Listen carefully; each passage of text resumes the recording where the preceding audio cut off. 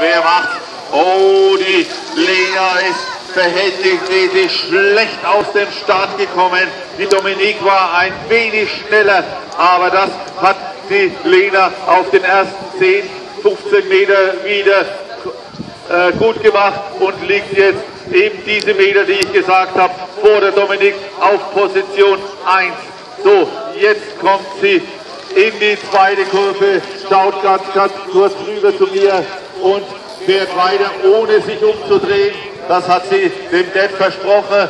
Jetzt fährt sie ihren zweiten Tagessieg entgegen und ohne das Ergebnis vorwegzunehmen, würde ich mal behaupten, wir sehen hier die süddeutsche Meisterin der Klasse U9 auf ihren letzten Metern, Lena